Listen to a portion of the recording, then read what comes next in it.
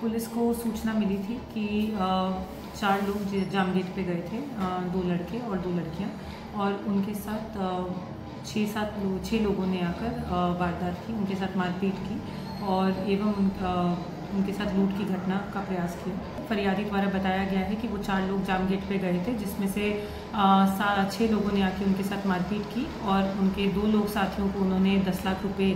मांग की और दस लाख मांगने के लिए उन्होंने उनको भेज दिया और दो को बंदी बनाया यहाँ पे फरियादी ने ये भी आशंका ज़ाहिर की कि जो उसके साथ लड़की थी उसको अलग से ले गए थे और उसके साथ आ, शायद कुछ गलत काम उन लोगों के द्वारा किया गया है। इस पूरे मैटर को पुलिस ने बहुत ही गंभीरता से लिया है।